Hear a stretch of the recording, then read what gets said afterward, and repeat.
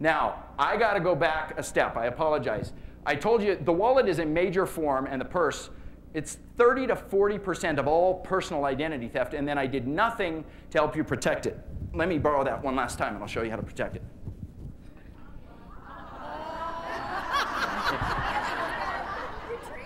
Have I taught you nothing?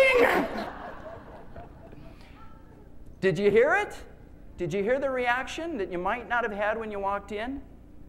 She even withheld it for a minute, right?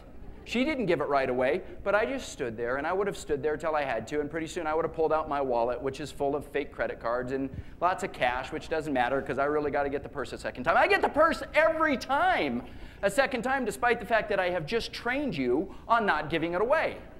Well, you guys say, well, this is different.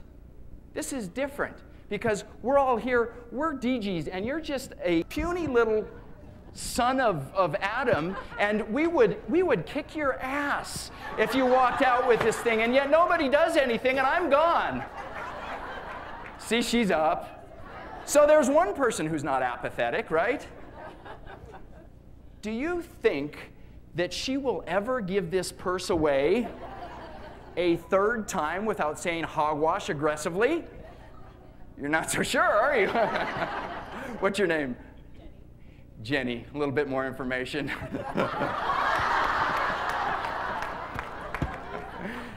Jenny, you've been a peach. Listen, it's way too much information to go through how to protect this wallet in one one hour session. So I would like to give you, number one, your purse back. Oh, hang on. Oh, she's getting more aggressive. Do you think she'll ever give it away when we go through it together, item by juicy item? No, no, no, I won't. I won't. She's, she's getting, she's, oh, oh God, oh God. What's in there? what do you DGs keep? Thank you very much. I'd like to give you a free copy of my book, Chapter 5.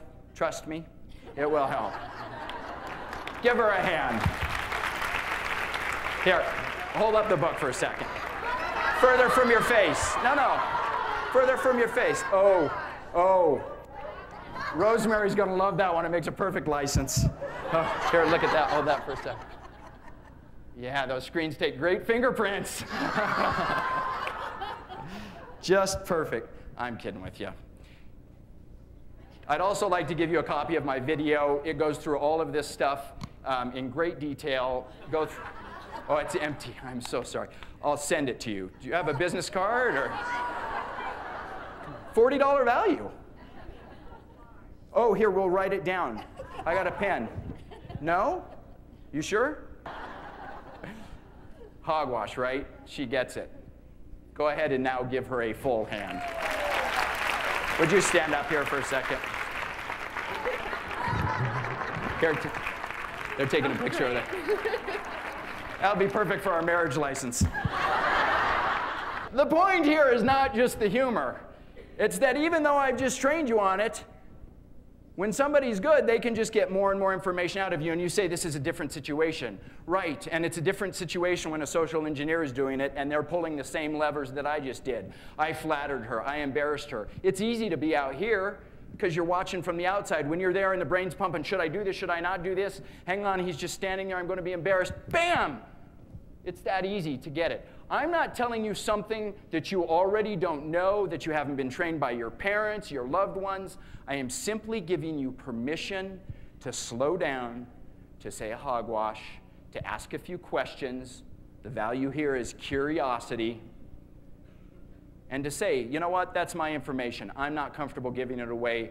Let me think about it for a minute. If you get that, you are going to be so much safer in so many things you can't believe it.